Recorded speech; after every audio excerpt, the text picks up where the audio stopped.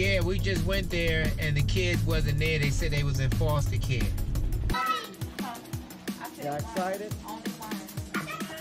I do community connoisseurs because it helps the others people that don't have things that they really want.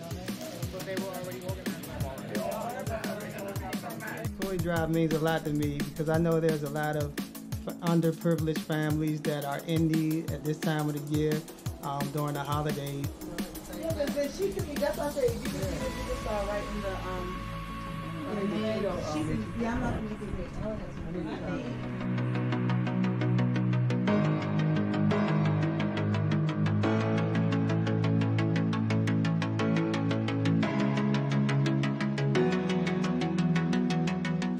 Zephyr's Toy Drive mean a lot to me as far as you giving back to the unfortunate families that's unable to receive gifts. So we give them back on this holiday season.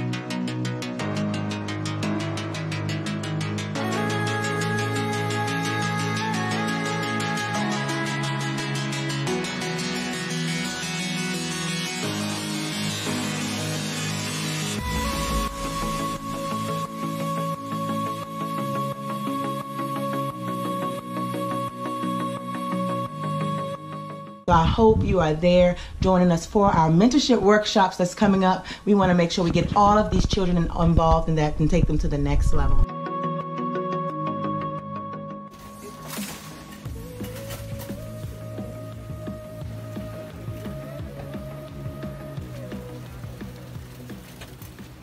Connoisseurs, and what it means to me to participate in the Selfless Toy Drive Act is a lot because we can give back to the community of those who do not have.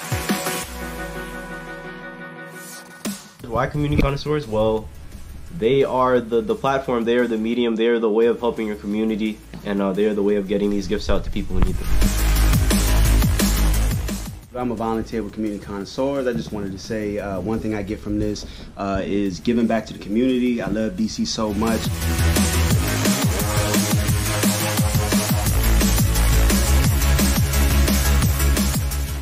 Zach Drive means to me is uh, giving something to those who don't have anything. Good afternoon, all. I'm having a wonderful experience working with Community Connoisseurs. As you can see, we've gotten a lot of donations this year, and we're hoping to get more so we can help a lot of the families that are in need of coats, scarves, shoes. It's been wonderful, and we have a lot more work to do. I know this is humbling work, but it's also very needed. Just grateful that I'm in a position to can do this.